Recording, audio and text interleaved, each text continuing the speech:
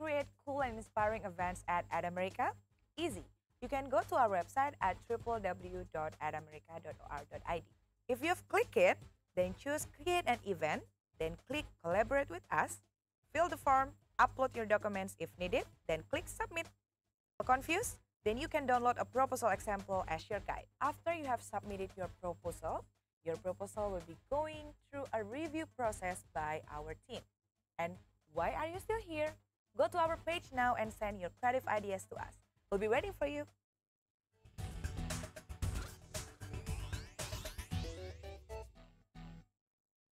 Hi everyone, I'm Fina, one of the advisors for Education USA here in @america, who is ready to help you with your study plan in the United States. We can help you with many things, and here are some of the services that we provide for you guys. And how can you get access to any of this? Very easy. Simply email us to jakarta.atamerica at educationusa.org. We look forward to it.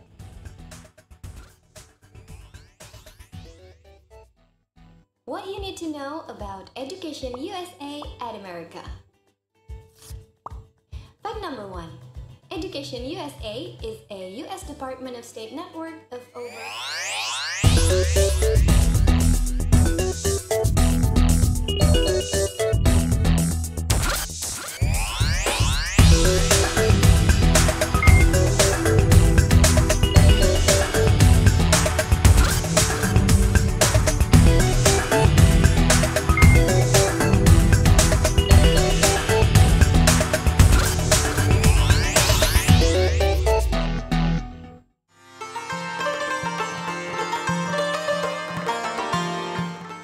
Pada Ramadan tahun ini, masyarakat di seluruh dunia, termasuk warga Amerika dan Indonesia, sedang bekerja, belajar, dan beribadah dari rumah. Meskipun kita berjauhan secara fizik, semangat kita tetap bersama dalam menjadikan bulan suci Ramadan sebagai momen untuk refleksi diri dan peduli dengan sesama. Saya Heather Variava, kuasa usaha Ed Interim Kedubes AS, mengucapkan selamat menunaikan ibadah puasa.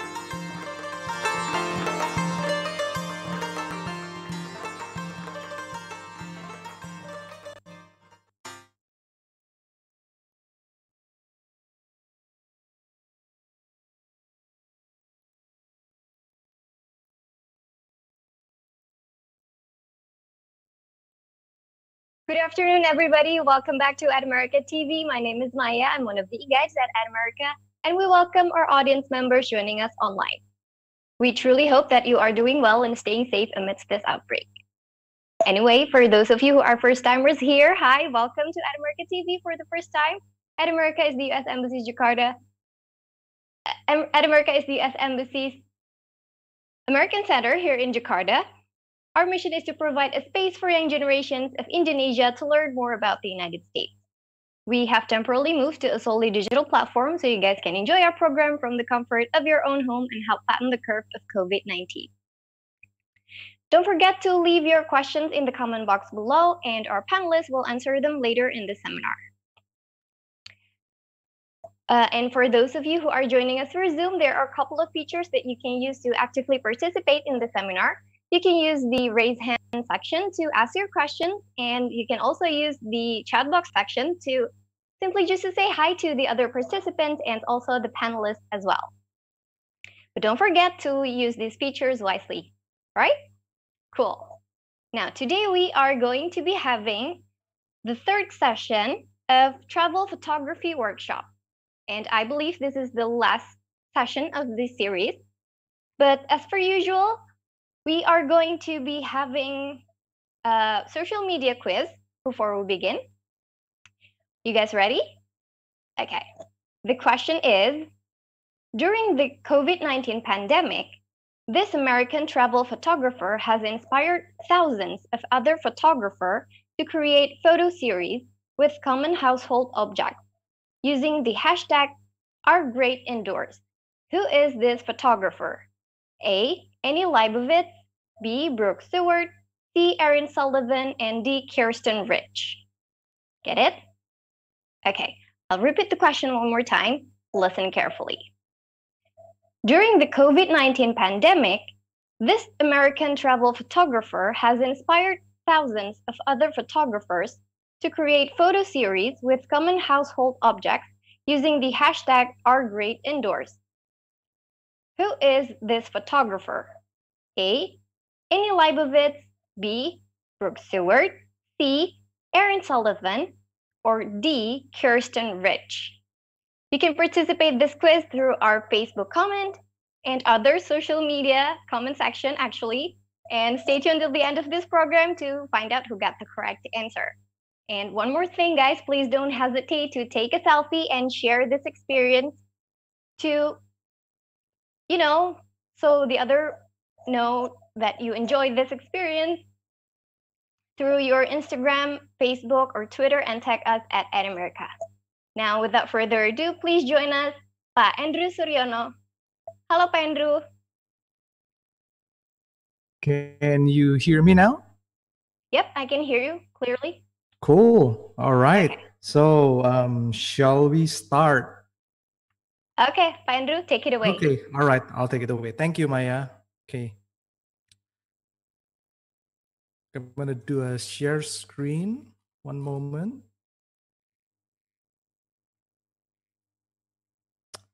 All right. Hello, everyone. I hope everyone is staying um, safe and healthy at home. My name is Andrew Suryono, and I am a travel photographer. And today is our last session in the travel photography workshop series. Uh, we've been having the series every week. Now it's running in the third week, and um, this week is going to be um, the last one on the series. Well, time flies. I hope you are enjoying the, um, the session so far. And the this final session is actually my favorite session because we are gonna talk about photo editing. We're gonna transform a good photo into a great looking photo, and I'm gonna show you live how I do that. So if you remember, we had our first session on the 6th May, and we discussed about the in and out of travel photography. And then we, the second session was about travel photography gear, where I showed you all my photography gears and stuff. And now we are on the third session where I will show you how I edit my photo live. And if you want to access to the recording, uh, you can go to the YouTube channel of the @america, or you can go to the resource page where I will show you how you can get access to all the recordings and all the material later on in this workshop. So stay tuned. So, and um, few house rules to get the most out of this um, workshop. Please remove all distraction, go to a quiet room where you can concentrate and put your Zoom on the speaker mode for the best viewing experience. I'm gonna be showing um, my photo editing program live. So it's gonna be, you know, some things are gonna be quite small, so it might be hard for you to see, see if you're on the gallery mode. So go to the speaker view mode so you, so you can get uh, get to see everything clearly. And participation is strongly encouraged to get the most out of this workshop. As usual, if you have any question, put them on the chat box and I will um, answer some of them in between the session, okay? So, agenda is today is why edit and retouch your photo, and then I will show you some editing basics. Then I will sh um, show you live on how I edit some of my photos. And then also, um, we are going to talk about how to write captivating title and caption. So it's not important just to make a good photo. It's important to tell the story behind your photo as well. And I'm going to show you how I did this as well. Then we're going to have a longer Q&A session. So let's talk about the big question, the big elephant in the room, okay? Editing photos, is it cheating? Is it cheating to edit your photos? I'm going to answer this question because I know a lot of you are thinking, okay, uh, I don't want to edit my photo because I think it's kind of cheating. You know, it's you're like making things up. You know, you're adding something that's not in the photo and so on and so forth. So I'm gonna debunk some of the myths before we move on because I think this is important for us to understand. First of all, I don't think uh, editing photo is uh, cheating because why? Number one, you need to match what your eyes saw. Our eyes are much more sophisticated than our camera. Our eyes can see uh, more of what was inside the scene compared to our camera. If you know, um, in, in photography, we have a term called dynamic range, and you, the best camera usually usually have like 15 stop of dynamic range, but our eyes can do a lot more than that. Maybe in the, you know, it's above 50. So what we see with our eyes may not be able to be replicated with our camera. And we use editing to bring the scene back to our uh, experience. You know, we, we will do the best that we can. Of course, we cannot match it 100%, but that's one of the reasons why we edit the photo. So this is a picture that I took when I visited New Zealand. And this was taken at the apartment that we stayed in. It was early in the morning. I woke up early and then I saw this sunrise scene. And this is what the camera saw when I took the, the photo. But this is not what my eyes actually saw. So I went to the editing uh, software that I use and then I uh, up the highlight and then I make it the, make the scene so that it's it really represents represents what my eyes uh, saw. And this is what it looked like. It's much more natural. It's um, you don't see the extreme contrast between the shadow and the highlight and you can it's it's more believable for um, the other person to see. So editing doesn't mean that you have to make your photos so fake and so um, unbelievable but sometimes you need it so the the camera can match what you see in reality that's what the point that I'm trying to get across. Okay. And then this one, I took this when I was in Tibet. I was um, on a train, right? So I have to shoot through the through the glass.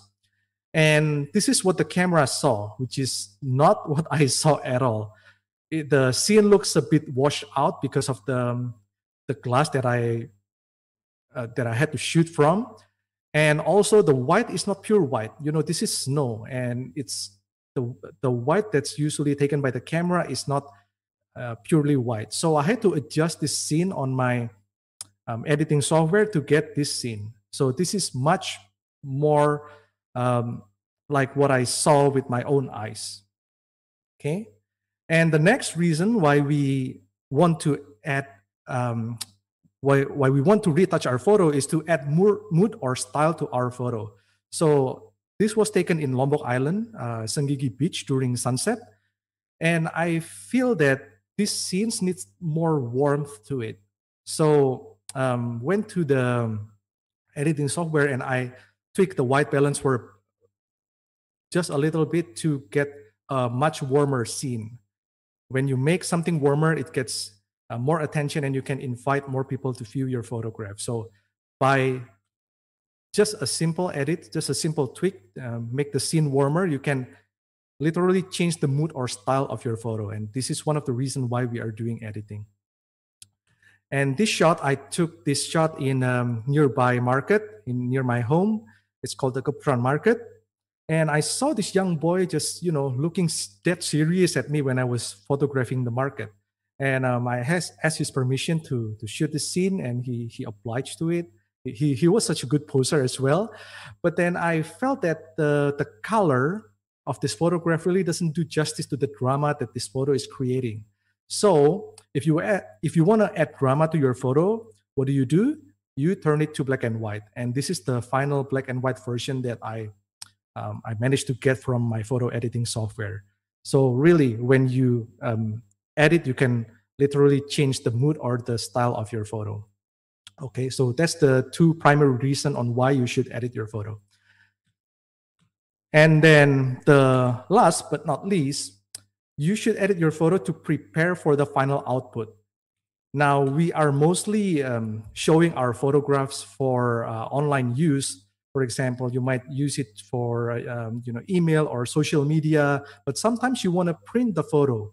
And then the setting that you have for printing a photo and for displaying photo for the web is two different things. And you have to adjust your photo for the right output when you edit the photo.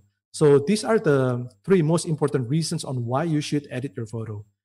To recap, it's to match what your eyes saw. And number two is to add mood or style to your photos. And finally is to prepare for the final output, either for screen or for print. And for web, you want to put 72 dpi. I will talk more about this later when I do the demonstration. And for print, you want to do 240 or 300 dpi, which means um, dpi stands uh, display per inch. Okay. Now, uh, I love this quote by an American photographer. Uh, her name is Annie Leibovitz. She said, Those who want to be serious photographers, you are really going to have to edit your work. You are going to have to understand what you're doing. You're going to have not just shoot, choose, shoot, shoot, shoot. To stop and look at your work is the most important thing that you can do. So by editing, we are also stopping the photo um, taking process and we really evaluate what we are doing in our photography. So I think this is a really great quote. And um, stopping and looking at your work and really learning from it is such an important part when you are um, learning photography. So I'm um, gonna talk a little bit about the basics of editing now. Uh, number one, good editing begins before you even press the shutter button on the camera. So what do I mean by that? Editing cannot hide or fix bad photography skill. So you get you need to have it right on the field. Okay, master your camera settings and the fundamentals of photography completely, and don't believe in the fix it later mindset. I know a lot of beginning photographers when they uh, when they were on the field and they're taking photo and they see that the photo is not turning out right. Uh, one of the excuse that they uh, always tell me is like, oh, it's okay. I can just fix it later in Photoshop, or you know, I can edit it later. Don't do that. You know, it's it's easier just to retake the shoot and then when you do when you do it right on the scene on the field then you don't have to do the editing. It will cut off your editing time. So the, the amount of things you get correct on the uh, field will determine your editing time. So the more you get it right the less editing you have to spend. And then some things cannot be fixed and i will show you some of the things that cannot be fixed uh, with uh, photo editing for example, like this one. This is an out of focus picture, and no matter how good you are in editing, you cannot fix an out of out of focus picture like this one. Okay. Next one is the composition. You know, I I visited the um, this in Vatican, and I want to get like a grand view of this building. And um, I was looking for the right angle, and this is the first angle that I took, which is okay, but it's not it's not the the angle that I wanted. And I cannot fix this in Photoshop the really the angle that I was looking for is something like this. So you have this leading line coming um, directly um, from you to the building, and this is drawing the viewer's attention. So in terms of composition, there is very very little little thing you can do in um, editing. Uh, it's just better to move your feet around when you are shooting on the field. Okay, and okay, so this is my editing workflow. First, I set my camera to shoot in RAW. Okay, uh, you can do RAW or JPEG, but if you want to be serious about editing and uh, travel photography in general, I would highly, highly, highly recommend you to shoot in RAW.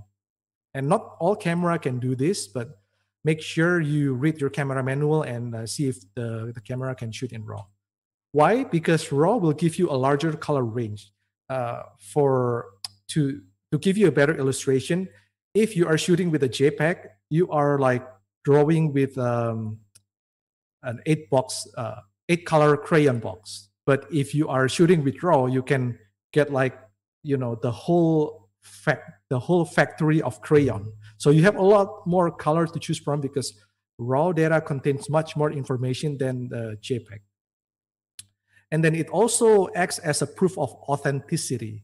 So people can just create JPEG file from any program. Like if you know about Photoshop, you can easily create something and then save it as a JPEG. But with RAW, it can only be created in your camera. So a lot of um, big publication like National Geographic, they ask you to submit the raw file as well. If you're joining photo competition, they will ask you to submit the raw file because they want to know if you are the, um, the owner of this uh, file. It, it will act as a proof of authenticity. Think of it as a negative. It's, this is a digital negative if you're familiar with uh, film terms. So this is a digital negative of your photo. So it's very, very helpful if you have a RAW file. And number two, you should get an external hard drive to store your photos. When you are traveling, you will end up with a lot of photos. And if you're only using the internal storage of your laptop or computer, you will run out of space very fast and it will make your computer run really slow.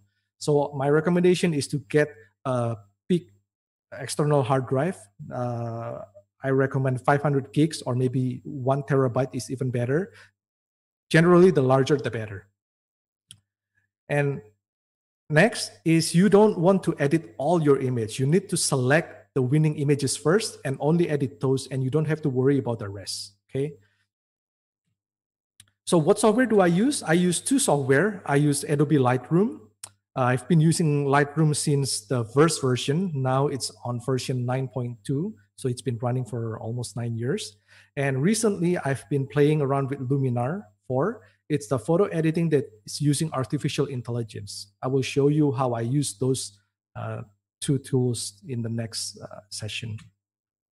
And last but not least, you should have an online backup of your photos too.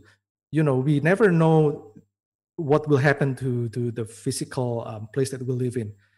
Um, sometimes your hard drive can get stolen or, you know, things can happen. You, you know, something can get on fire, hard drive breaks down. You never know what will happen in, in the physical world. So it's, it's very, very recommended to have an online backup of your photos because once you lose the photo, you will not be able to get it back. So it's it's better to have a offline backup and an online backup. With an online backup, you can access it anywhere, and it's um, providing you a safe place to store and protect your photo. So always think about the online backup solution as well. Okay, now before I go live in um, demonstration demonstrating how I edit some photos, uh, do we have some questions? Let me see. Okay, don't see any questions in the chat. Um, do we have any questions from either uh, social media, uh, Maya?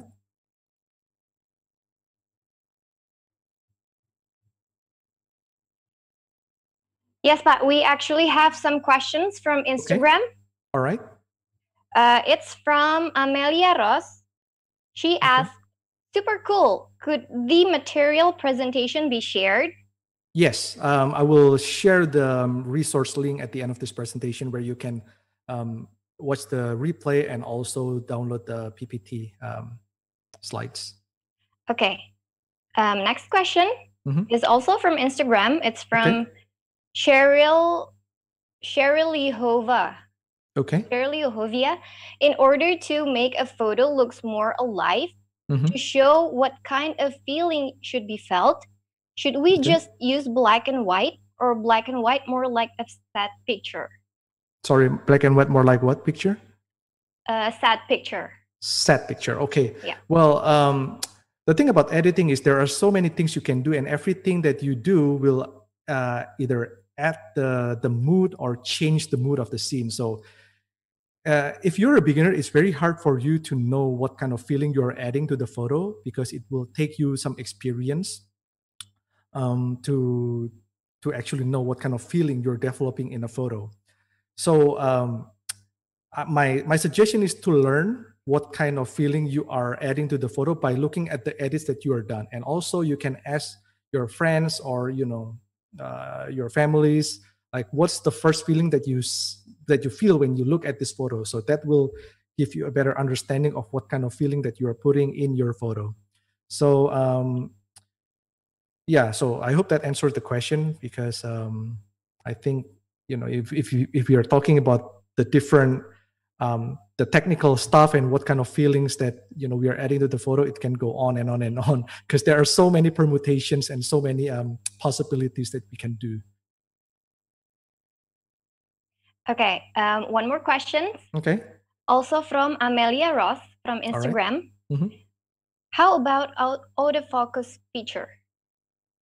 What is it? Autofocus oh, feature? Yeah, that's that's the question.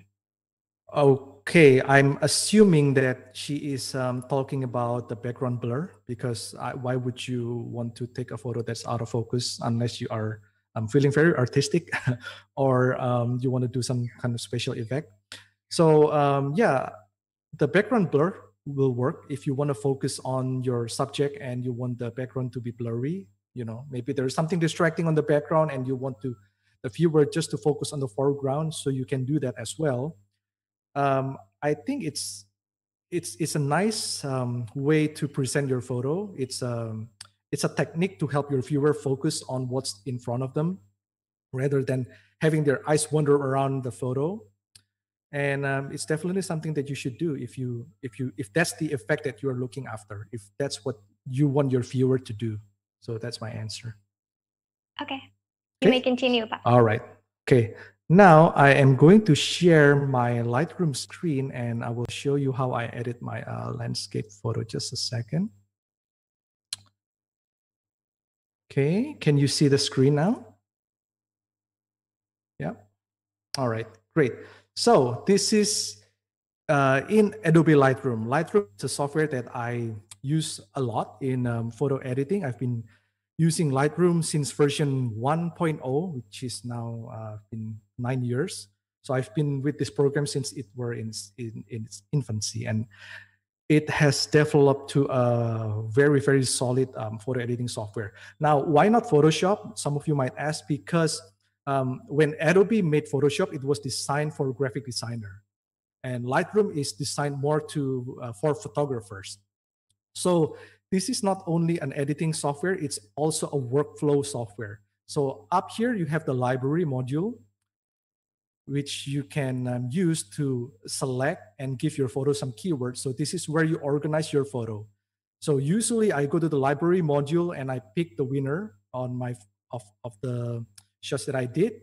And um, after that, I go to the develop module to um, edit only the winning photos. I don't really care about the bad photos that I take. I only edit the winning photos. So, uh, you know, uh, another way to say it is don't waste your time editing poorly taken photo. Only edit the good one and make it even better. So that's one mindset to have. And after that, I will go to the export. So you go to file and then you go to export. And then you can choose where you want your uh, what sorry what you, would you want your photos to um, to have when you are publishing? So for example if you are publishing to the web then you can choose like for email you know. Or if you want to print it you can choose um, burn full size jpeg here okay? So this is the last step that i will do once i'm finished editing uh, my photo. Okay so that's kind of uh, roughly on the workflow on how I do my editing. So first I select the photo and then the second one I finish editing the photo and the third one I export it and then I send it to the appropriate channel, whether it's print, whether it's web or Instagram and so on and so forth. So when I edit my photo, um, if you can see on the right hand panel, this is the all the available tools that you have. Okay. Now it can be quite overwhelming and you have to spend quite a bit of time to really understand uh, what they do and also what are the options that are available to you. But for for this workshop because we only have a very short amount of time i will just give you the essentials. So up here we will see the histogram okay? So histogram is the distribution of light that's visible in your photo. So on the very left hand side here we have the black this is pure black. And on the right hand side here, we have pure white. So by pure black, I mean when you print, you will not be able to see the details on the black. It will just print black ink. Okay, you will not see anything.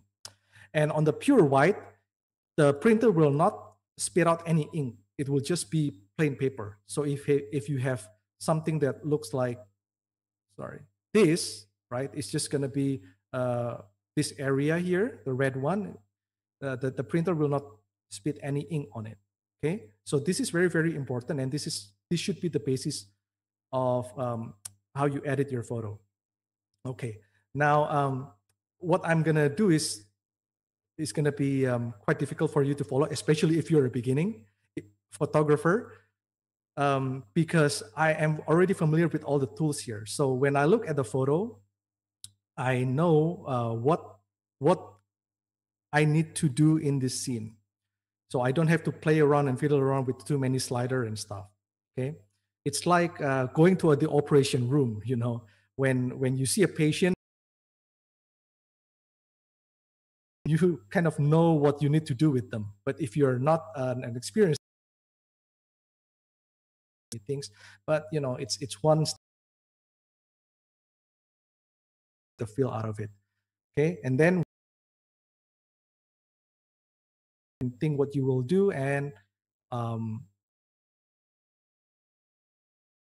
um, gonna show you some of the most important uh, other edit they're basically the um, the essential slider. So exposure will make your photo darker. You will affect the general you move to the left. Okay. Contrast is basically making thing making things that are that are white whiter and making things that are black blacker. So if see, it's gonna stretch looks whiter and the black looks blacker. In the histogram, um, this is pure, which is gray, and shadow. Shadow is between black and mid gray. So highlight is something like the, um, the sky here, which has which is blue in color, and in terms of light tonality, it's between uh, the the middle area, the gray area, and the white one. So if I add more highlight, the sky will get brighter. But if I decrease the highlight, you can see the sky gets a little bit darker. And shadow, Shadow is in between black and mid gray. So it's kind of like dark grayish. So if I pull the shadow up, you should see the um, this area here, the area on the rock, should get brighter. So if I increase the shadow, see, it's getting brighter. And but if I decrease the shadow, it will get darker. Okay. And white is the, you know, the area that's mostly white in this example is the cloud. So if I increase the white, you will see the cloud will get wider and wider and wider. But if I decrease the white, the cloud will get darker. Okay, and black is the opposite of white, of course. If I add more black, you see the the black thing gets more darker. But if I increase the black, the the black things get brighter. Okay. Then we also have the this is texture, clarity, and dehaze. This affects the sharpness. So if I zoom in and then I increase the texture, you will see that the rocks gets sharper in this photo. Same thing if I do with clarity here. Okay, so do, these two affects the sharpness of the photo. Um, vibrance, saturation, this will affect the, the strength of the color in your image. So for example, if I drag the slider up, you will see that the sky gets bluer and the brown gets browner.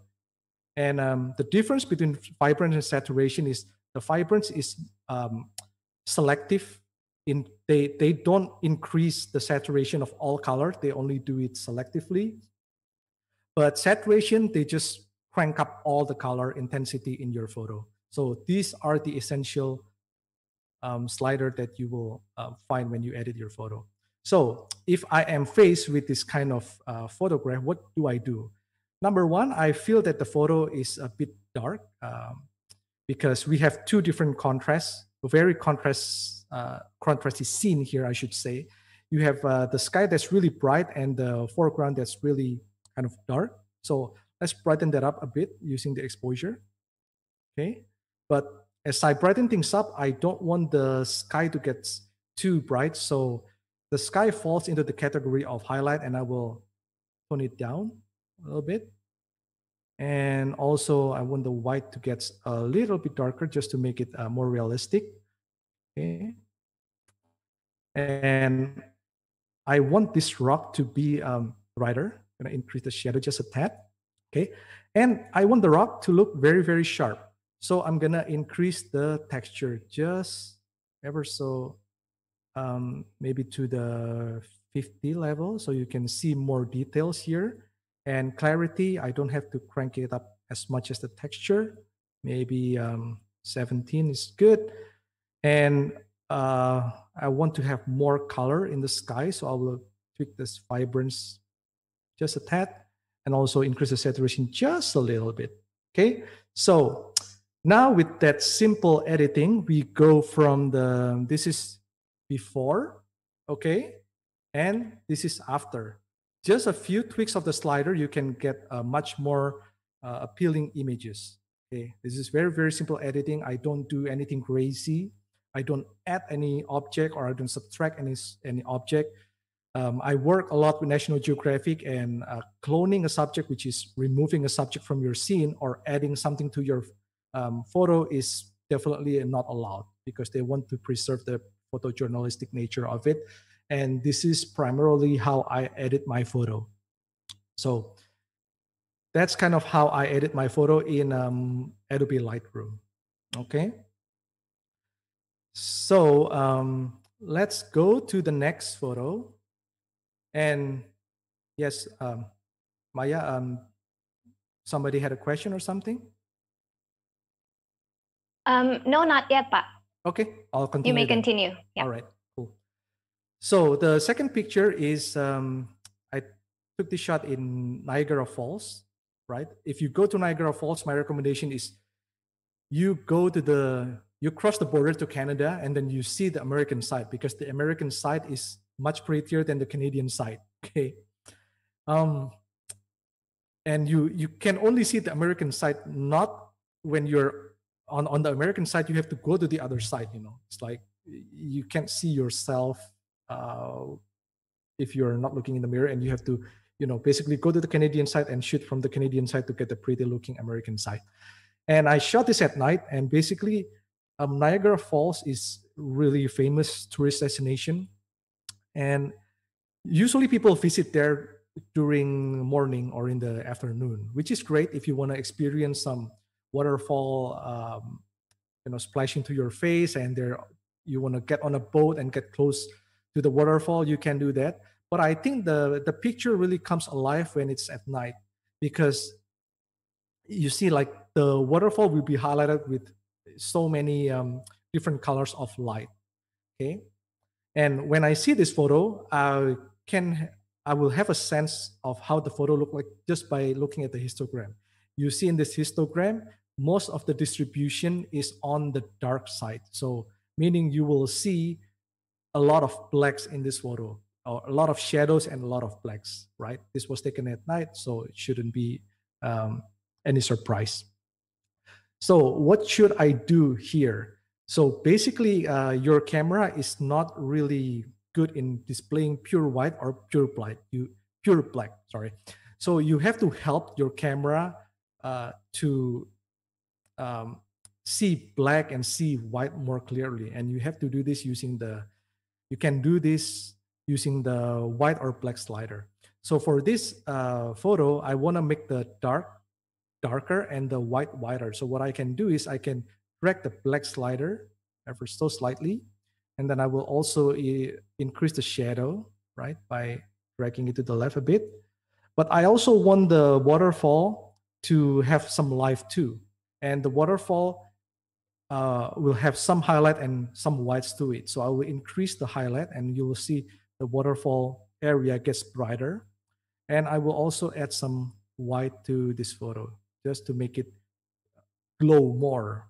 Okay.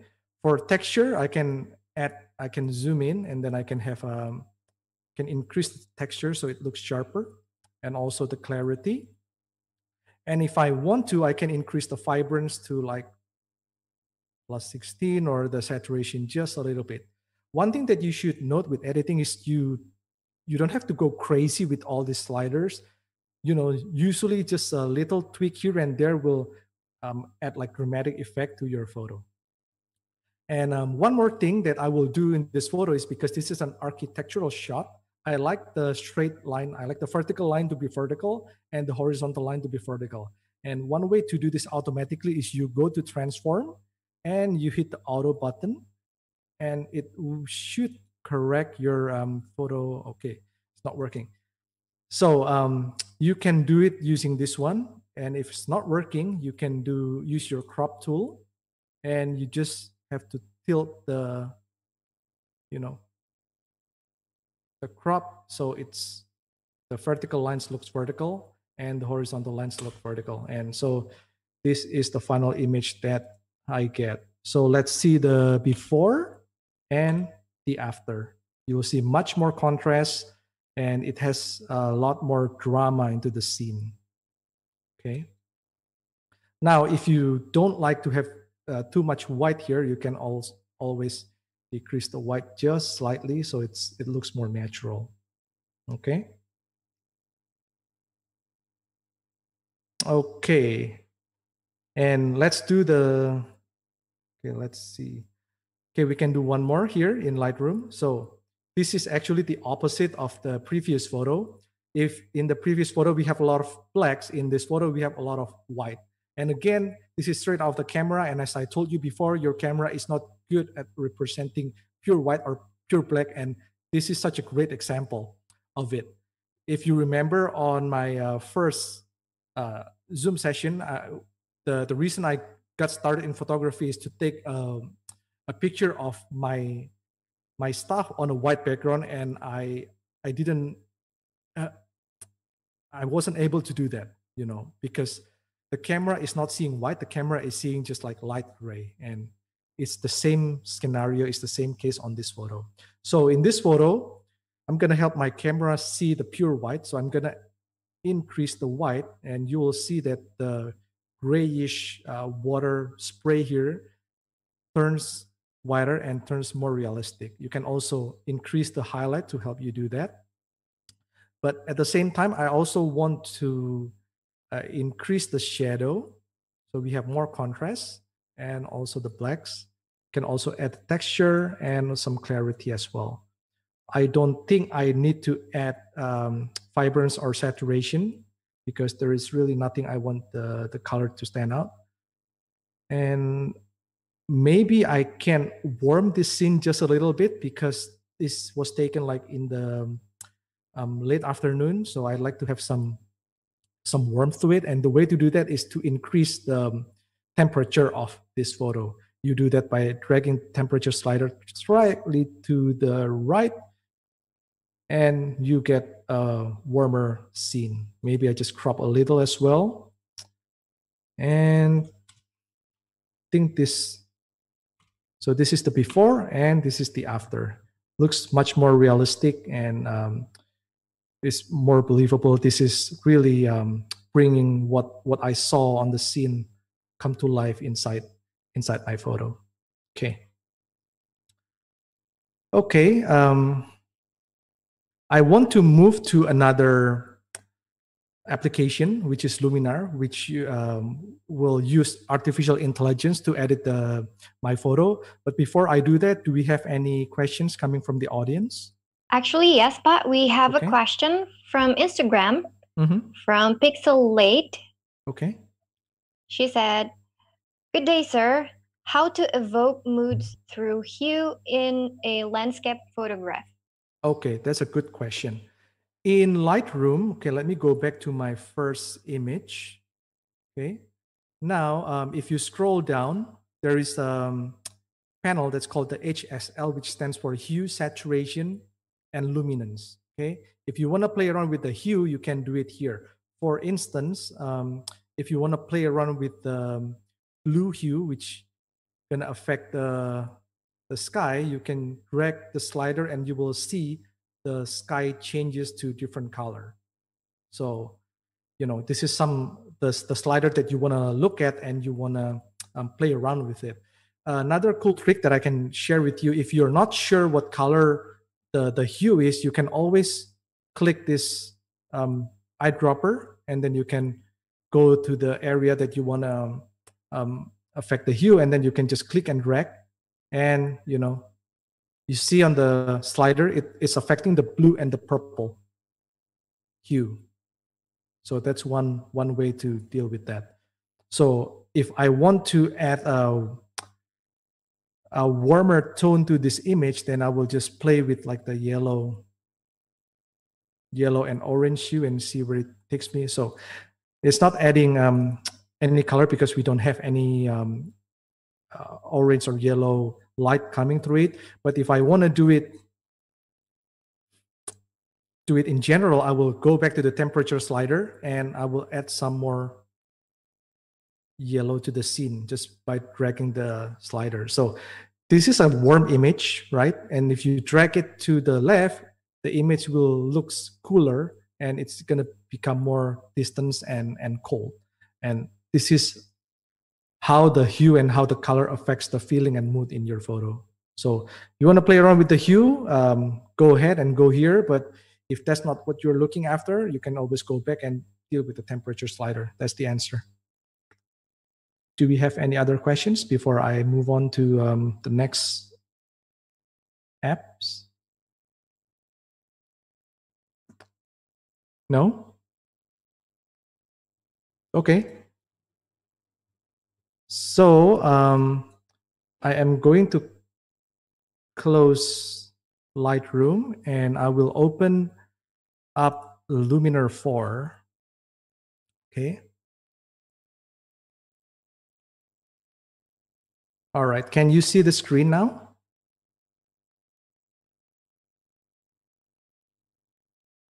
Yes, Pa. We can Okay. see your screen. Okay, great. All right, so we've dealt with um, landscape photos in Lightroom, and I will show you how I use different software to to edit my photo. Basically, I'm still very new in using Luminar. Um, they approached me and they wanted me to um, basically try out. Sorry. Yes. Uh, no, Pa. Sorry. Okay. All right. Yeah. Yeah. So they they approached me and they basically they want me to try out their their program and see how I like it. Um, Luminar is actually much simpler to use compared to Lightroom. Um, Lightroom is great if you have a lot of experience if you want and if you want to have a great control over your images and all the small elements that come through it. But with Luminar, it's kind of like a combination between Instagram filter and Lightroom. That's how I feel about the software. So they have like a standard preset that that you can see. So when you open Luminar, you go to the um, edit panel and you can click on the looks. Then you can have like all the available presets here. So if I'm gonna be dealing with landscape, I have like all the um, different looks and style available here down below. So um, their promise is you can use like artificial intelligence to analyze and basically do like a quick edit on your scene. So we'll do that and we'll see how it turns out. So they have like a preset called AI Landscape Enhancer. So we're going to be relying on the artificial intelligence to detect our scene and to um, let him do the job basically. So let me click that and see what happened. See, boom, you're gonna get like a totally different image. But what I find is sometimes the effect is too strong. So I might not want to have like 100% of the effect coming to my image and I have to drag it down for maybe um, 60 or 70 because 100 is generally too strong for my taste. Maybe in this case, I will just go to 51. And I still feel this image is a bit dark, so I'm gonna increase the exposure just slightly so I get more lights coming out. So there you have it. I have the same result or similar result that I get from Lightroom using just two slider when I'm in Luminar. So it's a definitely a good program to try if you're a beginner and you just want to get your hands on uh, photo editing and you know basically you can you can rely on the artificial intelligence to help you edit your image. So um, I think we still have um, some time left, maybe like a five minutes. I'm going to show you how we can do so. We can use AI when we um, edit portrait. So the AI is actually quite smart in that they can analyze and they can know what are the eyes, what are the nose, and what are the you know the facials of person face, and they can edit. This is a shot of a model that I that I took quite a while ago, and I'm gonna basically retouch her using the Luminar. So if you look at the preset module, you have the, where is the portrait? There you have it. You have the portrait module. And here you have the AI face enhancer. So all I need to do is I can click this button and look, let AI do the job. So right away you can see that she now have a softer softer skin and you know general in, in general a, a much better look. So and I will also show you the setting that's available to portrait. One moment. And if you go to the the face pen the the face icon here you click that one and here you will see all the settings that of, that are available for you. So if I open the skin enhancer um, I can eliminate the shine. So, you know, if I drag the shine removal, you will see that the, the reflection of light on her face is, you know, gets, gets more muted. And if I see the, if I open the AI Portrait Enhancer panel, you'll, you'll have a much greater control. For example, I feel like her face is not uh, well lit enough, so I can increase the face light and immediately you can see only her face gets brighter. If you have red eye, you can use that to remove the red eye. If you want the eyes to get wider, you can also play around with the eye whitening feature. So immediately, Luminar knows which uh, where where her eyes are, and it will apply the adjustment accordingly. You can also enhance the eye, which makes uh, her eye look sharper. If your model have a dark circle, you can, you know, remove the dark circle. As I drag the slider, you can see the dark circle gets less and less visible. And uh, this is a fun part. It's called the Slim Face 2.0. So basically what, what this is doing is it's going to make the face look slimmer, which I think this is a, a fantastic feature that I think a lot of um, our, our female audience will love. So um, gonna experiment with this and right away you can see that her face looks uh, slimmer. And if you want to enlarge the eyes, you can do that as well. So if I drag this over here, you can see that she'll have a bigger eyes. Okay. And eyebrows, lip saturation, lip redness, lip darkening, and also teeth whitening. You can, there are so many things you can play around with. And all you need to do is just, you know, drag around a slider and see the effect. So uh, the effect is quite dramatic. So I'm going to show you this is the before and this is the after. Okay, one more time. It's before, the after. I'll do it uh, like uh, using the slider. This is the, the before image. Okay, and this is the after. So it's it's quite a dramatic change and you know you can get this kind of change quite fast using Luminar. Okay, so that's the end of the demonstration. Um, do we have another questions coming in, Maya? Before I yes, but we have several questions. Okay, as expected. The first question, the first question is from YouTube. Okay. From Dita Dewi. All right. She asked, "Do you have any tip, any tips for editing pictures of beach?" Beach. Okay, you have to um, first before you edit. I want you to um, understand that beach is a high contrast scene which the the sky is usually really really bright and the foreground is usually really usually not really dark but it's much darker than the sky. So if you want to balance things out when you shoot i recommend you use to i recommend you to use the um, graduated neutral density filter. It's basically um, half black and half white filter that you can put in front of your lens. So it will tone down the brightness of the sky and it will protect the, the color of the foreground so that's that's one thing that you you need to do when you're shooting. When you are editing, uh, if you look back at my example, uh, the first example, it was you know taken at the Lake Pukaki, which similar to a beach, and you, will see how I deal with the highlight, with the um, um, with the black and white, with the foreground and, and the background. So if you missed that, definitely go watch the replay, and you'll see how I deal with that in in that example. Okay. Are okay. there any more questions?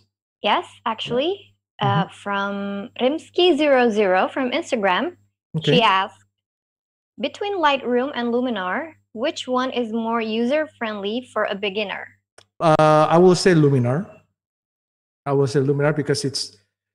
Um, I just feel that you it we are relying on artificial intelligence and it's it's like half of your job is done by the AI All you have to do is just tweak it a little bit more to to your taste, basically.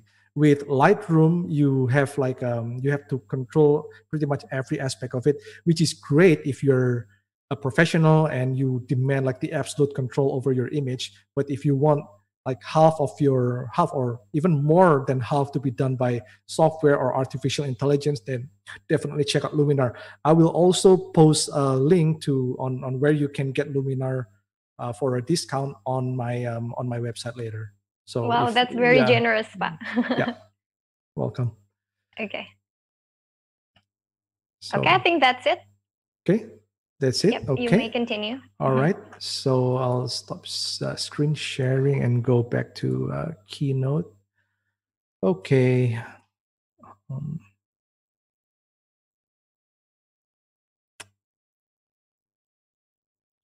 screen.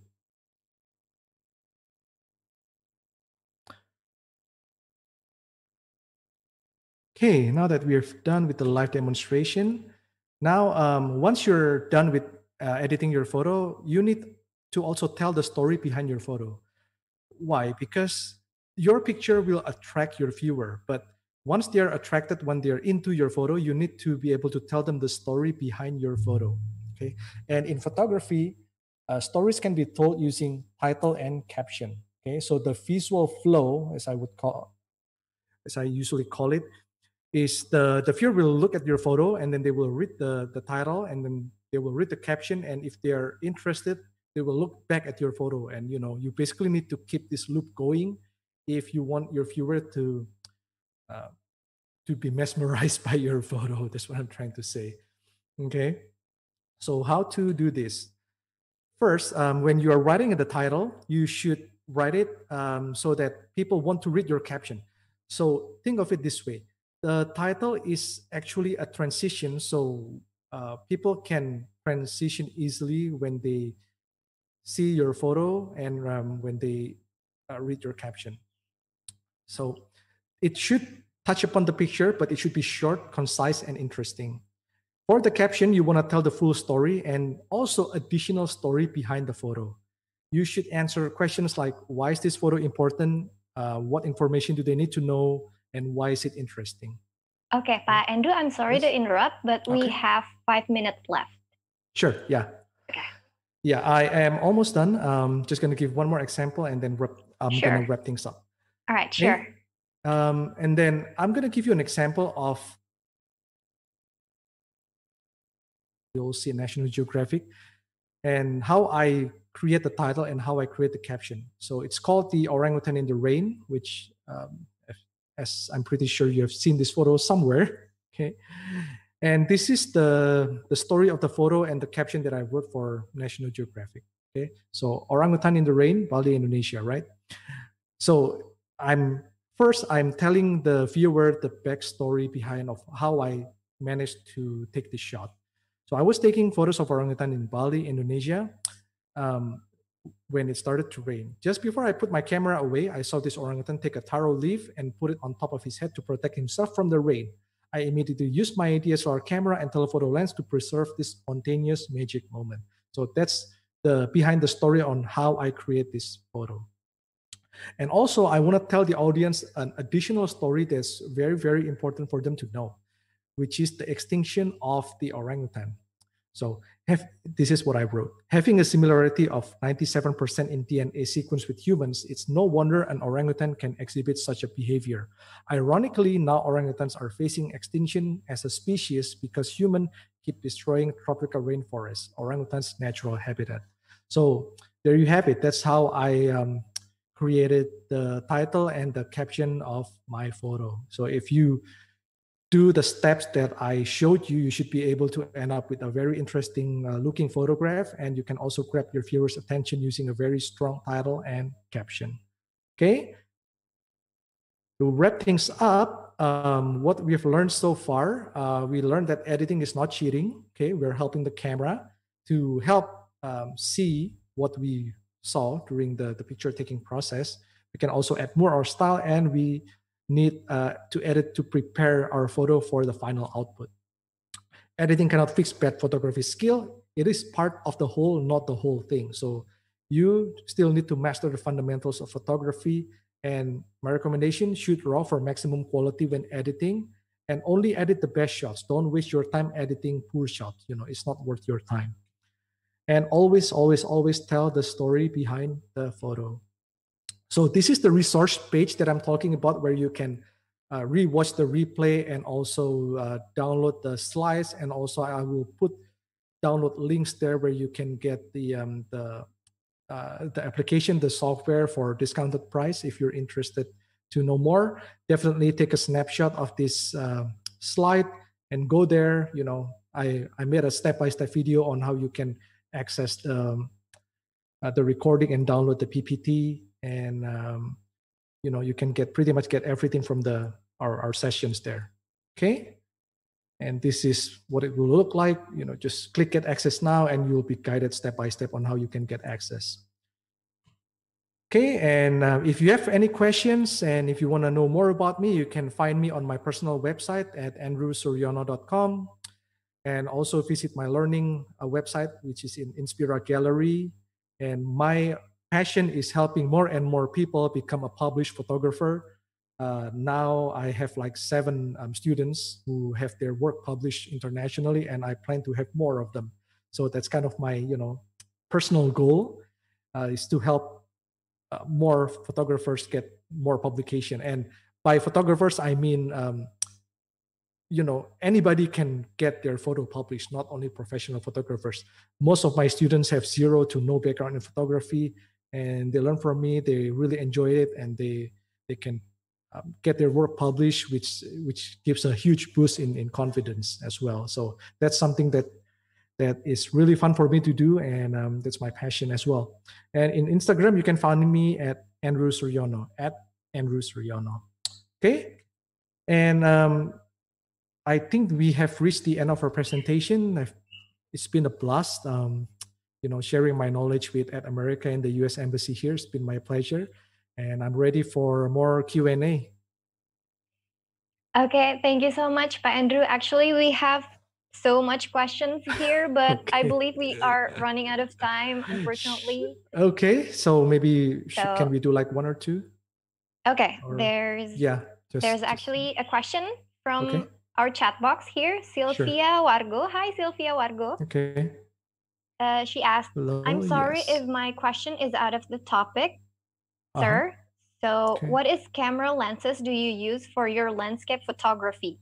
I mean, your gear are supporting your work, right? That is true. Yes, I use um, Sony Alpha 9 for my main camera, and for landscape photography, I usually uh, use wide, ultra wide angle lens, 16 to 35 millimeter lens. I'll, I'll type it type it on the chat box.